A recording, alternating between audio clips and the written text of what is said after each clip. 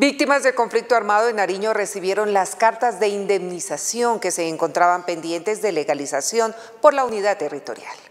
La Unidad Territorial de Víctimas en Nariño realizó la entrega de las cartas de indemnización administrativa para varias familias en esta región del país. Estamos en la ciudad de Pasto, donde dimos inicio a la jornada de entrega de cartas de indemnización administrativa 194 cartas que serán entregadas en esta jornada por recursos superiores a los 1.160 millones de pesos y de los cuales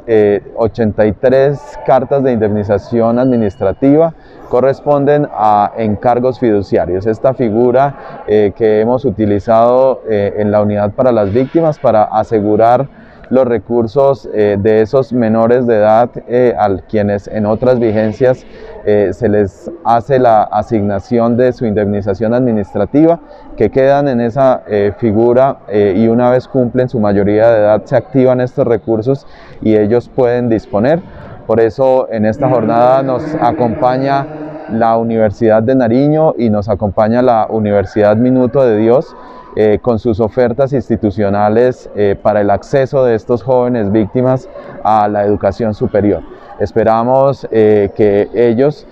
quienes reciben esos recursos, continúen con el mejoramiento de sus proyectos de vida y especialmente los jóvenes con el acceso a la educación superior. Así, trabajando de la mano de las diferentes universidades del departamento, seguimos trabajando unidos por las víctimas del conflicto armado.